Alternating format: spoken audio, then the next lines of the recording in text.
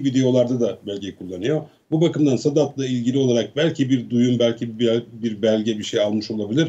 Onu bilmiyoruz ama e, o ihtimal kuvvetlidir. Şimdi Sadat açıklama yaptı. Şirket şirket olduğunu söyledi. Öyle faaliyetler ilgisi olmadığını söyledi. Ama Sayın Kılıçdaroğlu o kapıya kadar gittiğine göre bir kaygı taşıyor. Bu kaygı nedir derseniz yine CHP'lilerin ifade ettiği kaygı şu.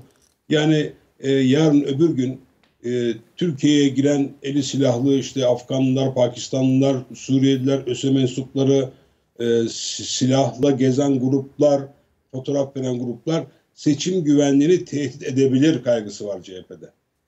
Seçim güvenliğini tehdit edebilir. Şimdi Sadat'ta işte böyle bir takım eylemler konusunda kurs veren, ders veren, eğitim veren bir şirket. Yani işte gayri nizami harp eğitimi verebiliyor. İşte suikast yöntemleriyle ilgili eğitimler verebiliyor. Tabii bu konu bir tartışmalı konu. Özel sektör bu tür eğitimler vermeli mi? Türkiye'nin ihtiyacını Türk Silahlı Kuvvetleri zaten karşılamıyor mu tartışması da var. Ama dünyadaki gelişmelere baktığımızda bu tür devlet dışı güçlerin aslında zaman zaman sahada olduğu görülüyor.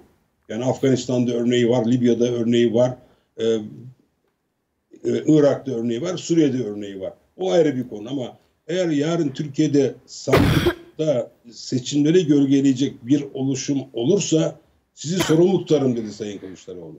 Yani böyle bir silahlı sandık yeri basılması, seçmenin tehdit edilmesi, seçmenlere karşı güç gösterisi yapılması, sandıkların ortadan kaldırılması gibi e, kaba güç gerektiren e, ve demokrasiye aykırı eylemler ortaya çıkarsa anlıyoruz, anlıyoruz ki Sayın Kılıçdaroğlu böyle bir sorumluluk ortaya atacak. Böyle bir iddia ortaya atacak. Çünkü şöyle bir kaygı topluma yerleşti. Afganistan'dan sadece genç erkekler geliyor. E, kimileri üniformalı e, görüntüler veriyorlar. Pakistan öyle. Ee, Suriye'den gelenlerin bir kısmı öyle. Bunların bazıları silahlı olduklarını silahlarını göstererek ortaya koyuyorlar. Bu insanlar nerede? Bu Afganlar nerede yaşıyor? Acaba bu Afganlarla devlet dışı örgütlerin, e, güçlerin bir teması var mı? Onlara bir eğitim veriliyor mu? E, gibi soru işaretlerini iktidar henüz yanıtlayabilmiş değil. Özellikle Afganistan'dan gelen ve asker e, gibi görünen bu genç erkeklerin nerede oldukları, ne iş yaptıkları bilinmiyor. E, Sayın Kılıçdaroğlu bu kaygıyı dile getirdi. Yani bu insanları bu şirketler mi eğitiyor? Bir yerlerde saklanıyorlar mı? Yarın sokağa mı salınacaklar? Bir kaos mu yaratılacak? Seçim güvenliği nasıl sağlanacak? Bu konuda ilk defa Türkiye Cumhuriyeti tarihinde muhalefet partileri bir araya gelip sandık güvenliğini nasıl sağlarız diye komisyon kurdular. Biz daha önce böyle e, olaylara tanık olmadık. Yargıç güvencesine güvenirdi Türk seçmeni ve insanı. Şimdi partiler güvenmiyorlar. Bir araya gelip nasıl sandığı koruyacağız diye ortak komisyon kuruyorlar. E, ve ilk defa bir ana muhalefet lideri yarın sandıklara bir gölge düşerse e, demokrasi aykırı bundan sizi sorumlu tutarım diye bir kapıya gidiyor. Bunu da ilk defa görüyoruz.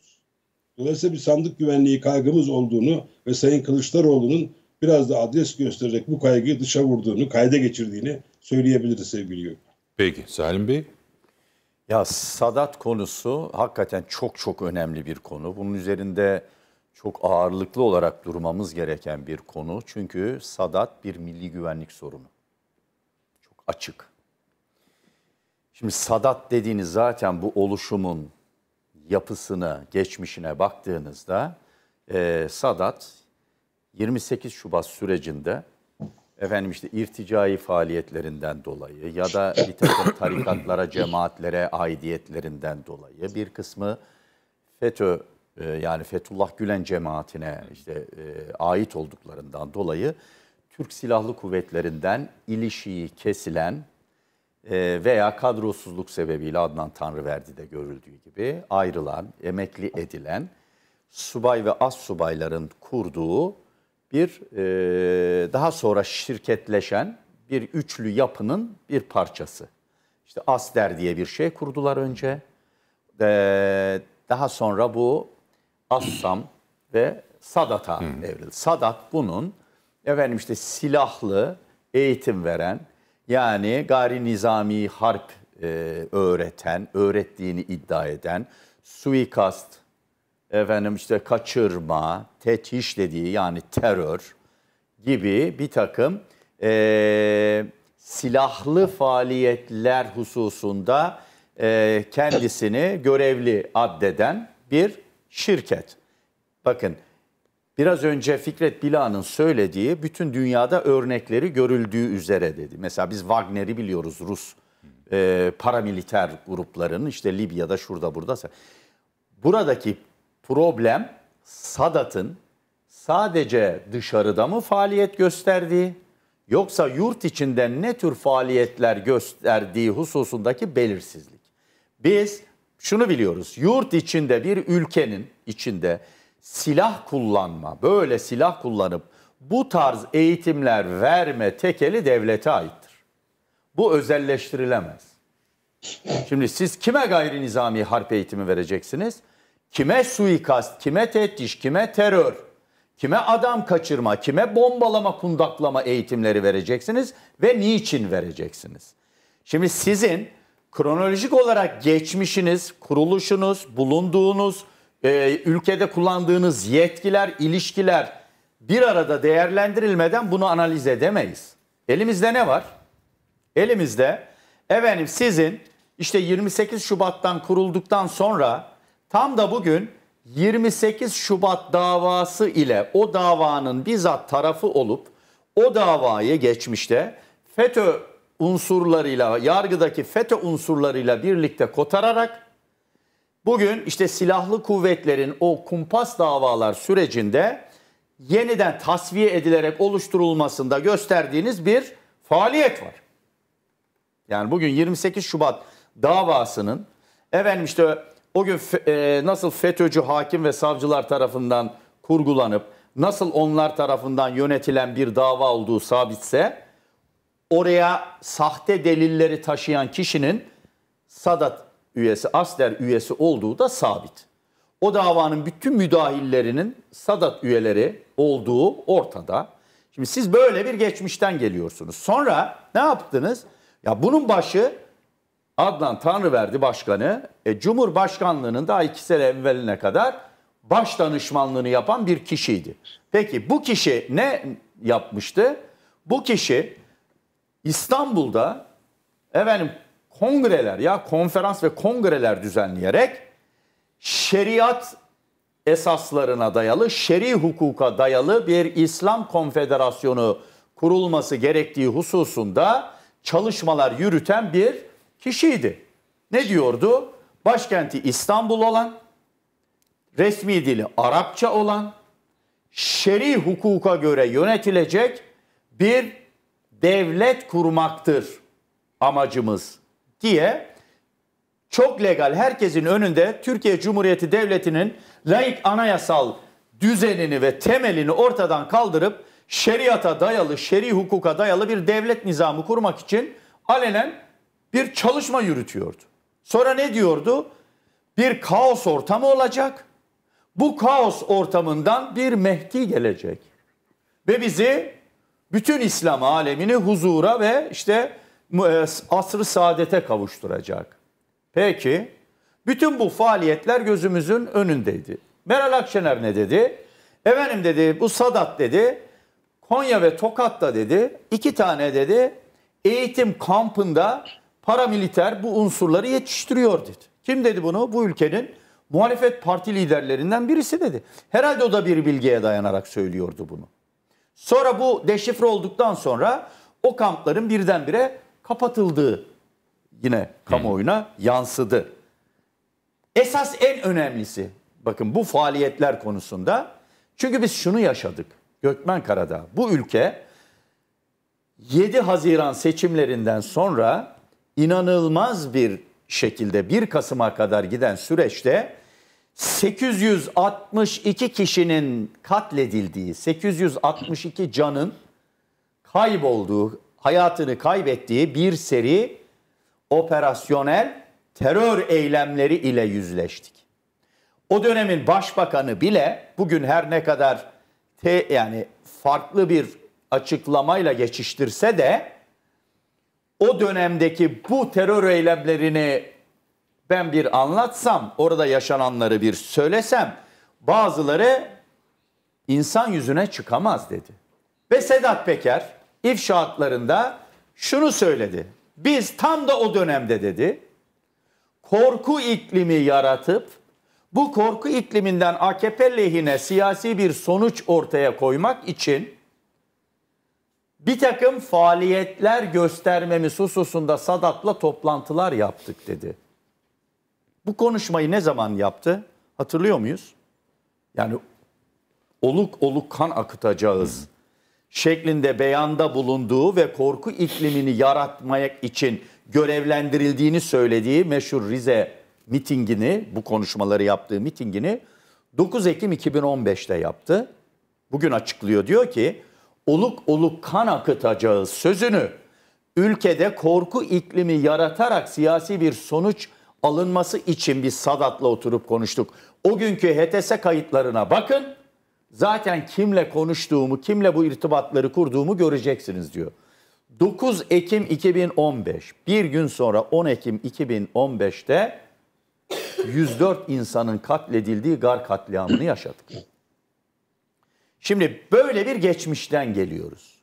Sonra aynı Sadat ve baş danışman Adnan Tanrıverdi dedi ki ne istiyorsak bugüne kadar, ne istediysek hepsini gerçekleştirdik dedi.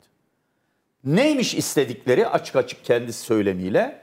Bir, dedi ki Türk Silahlı Kuvvetleri'nin yapısının değişmesini istiyorduk. Genelkurmay Başkanlığı'nın müstakil halden çıkarıp Milli Savunma Bakanlığı'na bağlanmasını istiyorduk. Bunu gerçekleştirdik dedi. Efendim askeri liselerin kapanmasını istiyorduk. Bunu da gerçekleştirdik dedi. Askeri yargının tamamen ortadan kaldırılmasını istiyorduk dedi. Askeri Yüksek İdare Mahkemesi'nin, Yargıtay'ının ve mahkemelerinin dedi. Bunu da sağladık dedi. Ve daha sonra neyi sağladıkları da ortaya çıktı ki hiç olmaması, hiç alakası olmaması gerektiği halde askeri yani harp okullarına öğrenci yer öğrenci alımında Hı hı. o komisyon üyeliği yaptıklarını o, e, gördük biz. Hiç yani ne gereği var bir özel şirketin efendim Sadat diye bir örgütün e, görevlilerinin harp okullarına öğrenci alım komisyonlarında onların efendim işte e, İmam Hatip Mezunları Derneği'nden bir görevlinin ve İlim Yayma Vakfı'ndan bir temsilcinin iki subayla birlikte beşli bir mülakat heyeti oluşturduklarını gördük. Bunun ne gerek vardı? Niye böyle bir yola gidildi? Yani şimdi Sadat sadece bir Sadat efendim Şimdi bunlar sadece bunları zaten hep konuşmuştuk şirket. Salim Bey. Ha.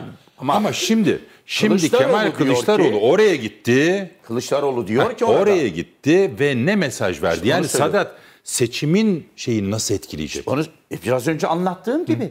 Yani biz hala Sadat'ın ilk 7 Haziran, 1 Kasım ve devam eden süreçte ne gibi faaliyetler yürüttüğüne ilişkin bir bilgi sahibi değiliz. Duyum ve iddia sahibiyiz. Biz kimlerden oluştuğunu, içinde ne marjinal efendim işte radikal dinci örgütlerinden süzülüp gelen, ÖSO'dan şuradan buradan Fikret Bila'nın söylediği gibi Afganistan'dan vesaire gelen El-Kaide'nin şunun bunun türevi savaşçıların olup olmadığını bilmiyoruz. Sermaye yapısının ne olduğunu bilmiyoruz. Gelirlerinin nereden olduğunu bilmiyoruz. Şeffaf ve denetlenebilir hiçbir bilgisine haiz değiliz. Seçim gecesi ne yapabilirler? Her şey yapabilirler. Bir kaos ortamı yaratmak üzere efendim işte eylemler tertipleyebilirler, provokatif bir takım e, şeylere girişebilirler. Yani Sedat Peker ne dedi? Bu dedi, bu oluş iddiasında, bu oluşum dedi ve bunun türevleri dedi. Bu güvenliği yani o korku iklimini yaratmak için seçim sonuçları üzerinde de yani olası bir şey gördüklerinde, bir kayıp gördüklerinde her şeyi yapabilirler. Yapılması gereken sürekli bunu deşifre etmek, sürekli gündemde tutmak, sürekli bu tehlikeye işaret etmektir. Çünkü dedi bu tarz örgütler deşifre olduklarında planladıkları ya da arzu ettikleri o eylemleri yapamazlar, Yapamazlar. dedi. İllegal örgütlerin, örgütlenmelerin böyle bir zayıf tarafı vardır. Deşifre olurlarsa harekete geçemezler dedi. Muhtemelen Kemal Kılıçdaroğlu durduk yere bunun önüne gidip o seviyede devleti tanıyan, o sorumluluğa haiz birisinin bu ağır iddiaları söyleyerek yani burası bir terörist yetiştiren bir terör yuvasıdır. Efendim işte bakın suikast eylemleri ve terör eylemleri örgütlüyorlar, planlıyorlar burası. Bize hesap verin demesi durduk yere o seviyede bir siyaset adamının dile getireceği hususlar değil. Muhtemelen hakikaten bu konuda İstihbarat kendilerine olmuştur. ulaşmış devletten gelen ciddi dikkate alınması gereken bilgiler ve belgeler var ki buna işaret ediyor, farkındalık yaratmaya çalışıyor, hepimizin önüne koyuyor. Burada bu ve benzer eylemlerde ben bir şeye de işaret et- etmek istiyorum. Kılıçdaroğlu'nun bireysel ya da sadece Cumhuriyet Halk Partisi'nin bir eylemi olarak bir e, bu tarz bir çabası olarak bu kalmamalı.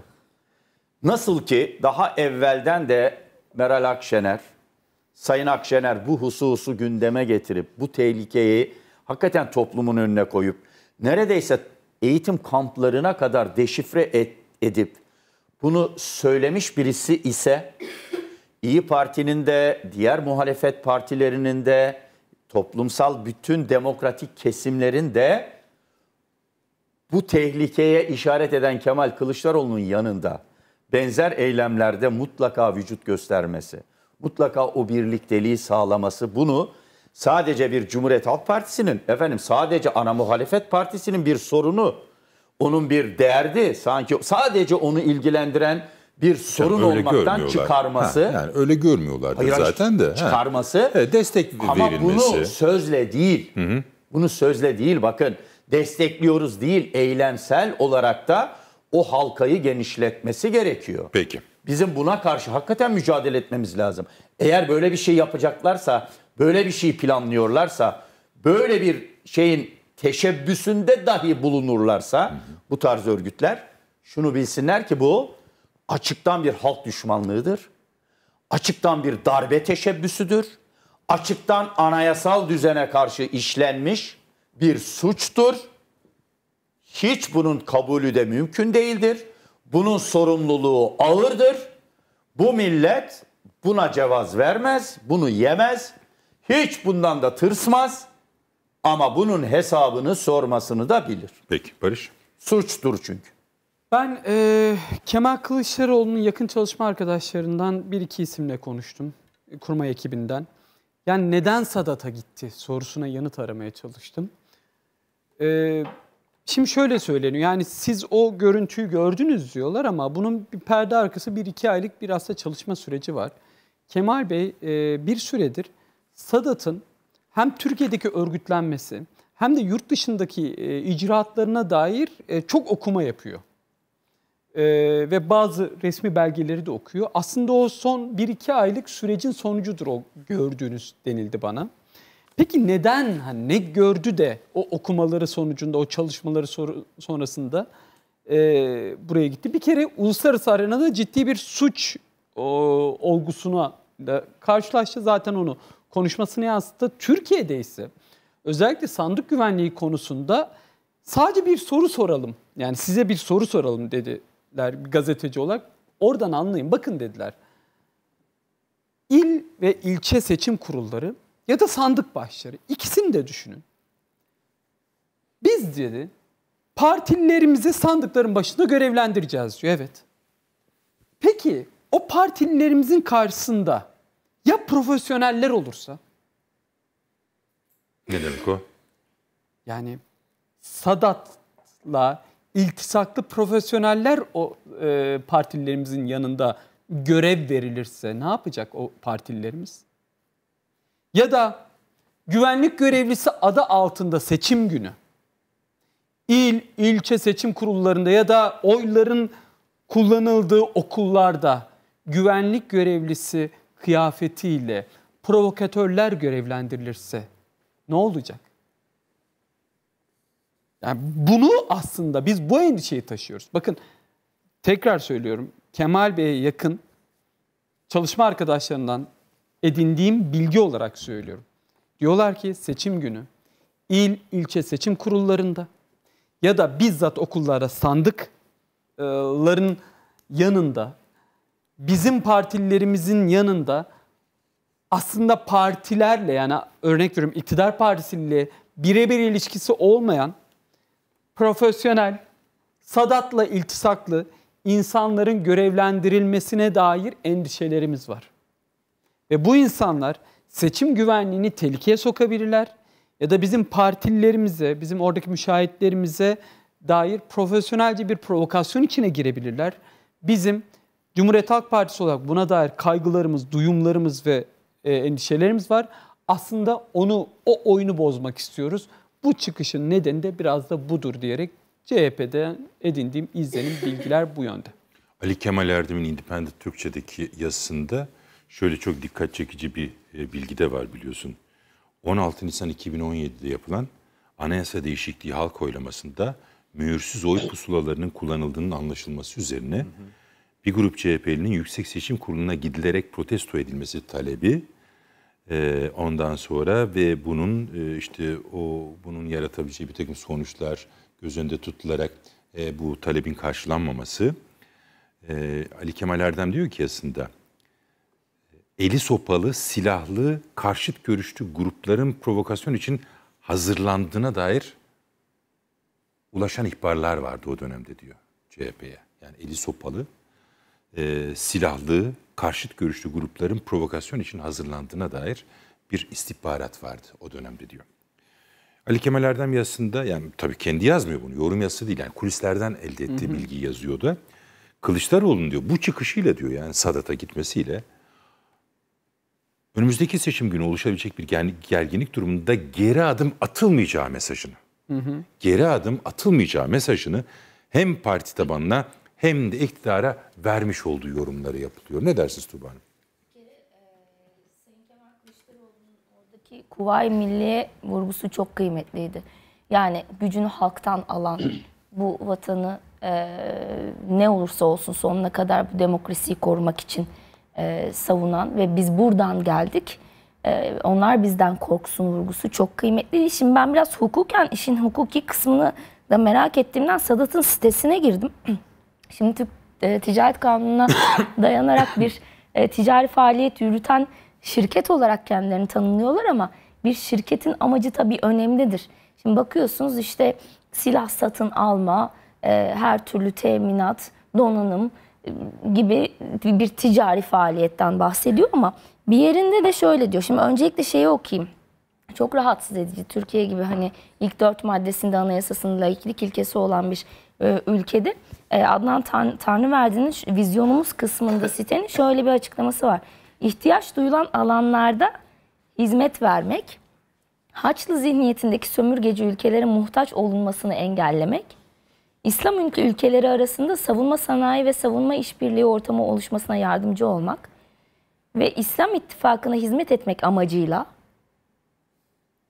İslam ülkelerinin dini hassasiyetlerine saygılı, TSK'nın çeşitli kademelerinde başarıyla hizmet etmiş 64 subay ve subayın işte e, desteğiyle falan filan işte kurulmuştur diyor bu anonim şirket. Şimdi bir kere bu açıklama anayasaya bence aykırı bir hukukçu yorumuyla baktığımda. Şeye geldiğimde yine hizmetler kısmında e, özel kuvvet e, hizmetleri gibi bir bölüm var. Orada da diyor ki e, Sadat savunma Sadat savunma tek erden başlayıp takım, bölük, tabur, alay, tugay, tümen, kolordu, ordu ve kuvvet seviyesi de dahil birlikleri A'dan Z'ye sıfırdan başlayarak kurma, birlikleri kurma imkan ve kabiliyetine sahiptir. Devam ediyor. Silahlı kuvvetler ve polis teşkilatlarına yönelik sunduğumuz anahtar teslim çözümlere örnek konulardan birisi de anahtar teslim özel kuvvetler te- e, tesis edilmesidir. Özel kuvvet tesis ediyoruz diyor. Yani şimdi e, ve yasal dayanaklarını sıralamış sitede. Yasal dayanaklar arasında işte bazı ateşli silahlarla ilgili, bunların teminiyle ilgili çeşitli kanunlar ve maddelerini koymuş. Ama hepsi silah teminiyle ilgili. Ve Milli Savunma Bakanlığı'nın onayına tabi. Tamam mı? E şimdi tamam Ama kuvvetler kısmında birlik kurma kısmı bu bu çok büyük bir problem. Yani o bir kere Türk Silahlı Kuvvetler ordusu var bu ülkenin. Silahlı, ya silah taşıyan savaşçı birlikler yani Türk o orduyla ilgilidir ve hani bu ordunun zaten buna yetebiliyor olması lazım. Erk Acerer çok güzel bir açıklama yaptı. Geçenlerde Artı TV'deydi galiba Sadat'la ilgili. Zamanının işte başbakanında kurulurken bu Sadat, e, Bülent Arınç o zaman işte soruyorlar böyle bir e, ihtiyaç var mı diye. Ve Bülent Arınç da diyor ki hayır yok yani Türk yani Türk Silahlı Kuvvetleri e, yeterlidir. Hani böyle bir ekstra birlik kurulmasına ihtiyaç yok. Ve buna e, Türk Silahlı Kuvvetleri işte ve bağlı birimler karar verir. Şimdi bakıyorsunuz ordu gibi ba- bağımsız olması gereken bir e, yani e, ülkenin yaş- yaşam hani vatanın savunma kaynaklarından e, birini siz özel bir iradeyle seçilmeyen e, özel bir iradeyle takviye etmeye çalışıyorsunuz. Bu korkunç bir şey bence. O ama şöyle Tuğba Hanım aslında TSK'nın takviyesine yönelik bir şey değil Sadat. Ama burada öyle bir şeyden bahsediyor. Ama- yani bu, bu bu başlı başına bir tehlikedir. Evet. Ve bence Ama cesarettir. e, Ge- dedi- dediğiniz tehlikeden çok daha büyük. Az önce Salim Bey'in söylediği. Ya bir dönem boyunca e, harp okulu öğrencilerini e, belirleyen, seçen komisyonun içerisinde e, yer almış Evet. olması. Üstelik de bizim bunu çok sonradan öğrenmemiş olmamız. Yani ne oldu ne bitti. Şimdi silahlar. Ya silahlar var mı değil mi Sadat'ın elinde? Sadat'ın elinde silah var mı Barış? Var tabii. Bilmiyoruz. Bilmiyoruz. Envanterini Yani- bilmiyoruz. Evet envanterini bilmiyoruz. evet. Ondan Ağır sonra mesela hafif Sedat. Peker'in efendim Esenyurt'ta e, bir e, yerden yükleyip de e, Balat'ta e, bir e, Adalet ve Kalkınma Partili e, tam ünvanını hatırlamıyorum e, hangi görevi o ta- ta- şeyini tanımını yapmış o zaman. Onlara Gençlik bu silahları neyse o o silahları götürdüğü bilgisi. Onların akıbetini biliyor muyuz? Bilmiyoruz. Bu şekilde kaç silah götürüldüğünü biliyor muyuz? Bilmiyoruz. Kiminin de ne var? Ayrıca 15 Temmuz'un da kayıp silahları yok Tabii, mu? Bir de böyle o. bir sorun var. Esas. Nihayetinde e, çok can yakıcı bir e, gündem var ortada. Kemal Kılıçdaroğlu e, kimsenin beklemediği bir hamle yaptı. Kimsenin beklemediği bir hamle yaptı. E, ama şunu açıkça söyleyeyim. Yani Sadat'ın da açıklamasını burada aktardık. E, diyor ki ben diyor Türk Ticaret Kanunu'na tabi olarak faaliyetini sürdüren bir ticari şirketim diyor. E, efendim çatışma bölgelerinde herhangi bir faaliyetim yok. Paramiliter ordu değilim. Milis gücü e, yetiştirmiyorum. E, iç savaşla Suriye'deki iç savaşla bir ilgim yok vesaire vesaire. Yani ben meleğim diyor adeta. Ne yapıyor? Bak, Ne yaptığını söylemiyor ama. Evet ama ortada çok ciddi ihbarlar var. Ne yaptığını söylemiyor. Ne yapmadığını söylüyor da. Bunu bunu takip edeceğiz bundan sonraki süreçte. Hakikaten de e, ifşa e, edilmiş olması bu tür olası tehlikelerin bertaraf edilmesi anlamına e, anlamında önemli. Merak ediyoruz bundan sonra muhalefetin bu konudaki hamleleri devam edecek mi ve Sadat'la ilgili biz yeni şeyler öğrenecek miyiz? Sadat'la ilgili yeni şeyler öğrenecek miyiz? Bir şey söylemek ister misin? Ya şöyle e, Bu arada sürpriz bir bağlantımız var sayın seyirciler size. Arkadaşlarımız hazır olduğunda söyleyecekler onu. Evet. Söyleyebileceğim şey şu. e, Kemal Bey hani dediğim gibi bu riske şey yapmış. e, şey Salim Şen de söyledi ya. E, Sedat Peker'in açıklamaları sırasında e, a- kardeşlerim tecrübe konuşuyor.